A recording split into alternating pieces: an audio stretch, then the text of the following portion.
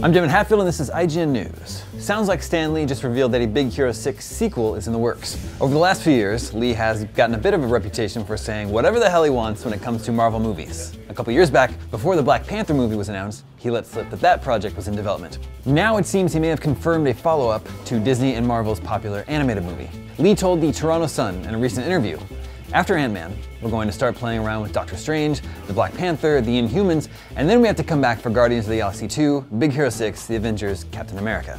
The idea of Marvel moving forward with the Big Hero 6 franchise wouldn't be at all surprising. The first film was the highest grossing animated movie of 2014, earning $651 million worldwide.